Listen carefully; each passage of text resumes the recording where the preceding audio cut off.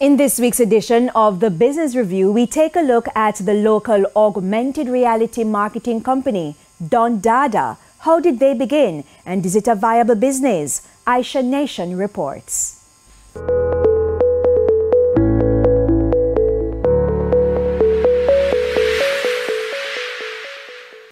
Augmented reality, a digitally modified interactive recreation of real world settings that uses holographic technology to provide visual, auditory, and other sensory experiences.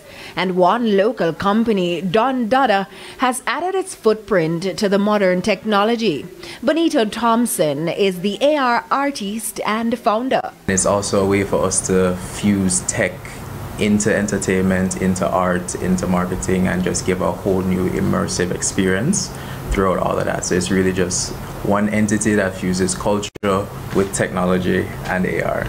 But how does this work? I found a way to basically take Instagram filters and link that with art and culture and just give an experience promoting the idea that augmented reality may be used by corporate and cultural brands to reach their intended consumers. The marketing company is just over a year old, but has been making its mark on the digital landscape.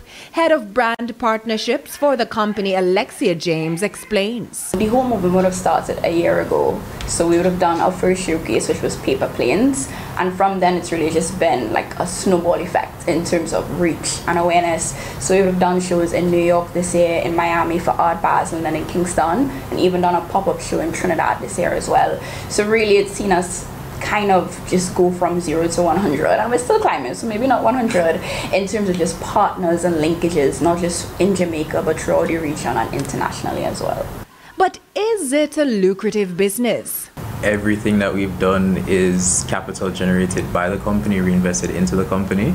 There hasn't been any outside funding or nothing. Like we're fully growing off of just social reach, growing off of organic growth. It's a case where like people see the content and because it's so different, it's literally like a breath of fresh air. It grows on its own, it spreads.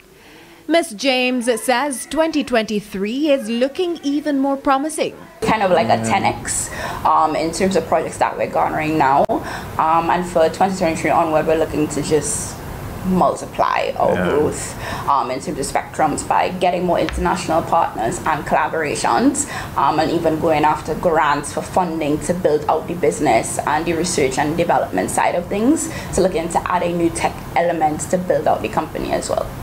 Mr. Thompson says jobs in the AR industry can earn the company more than 6,000 US dollars per project. He says Don Dada has been able to take on intricate projects that could earn the company three times the amount it earned in 2022. Mr. Thompson has also created artwork that's classified non-fungible tokens NFT. NFTs are one-of-a-kind blockchain-based digital artifacts. For the Business Review, I'm Aisha Nation.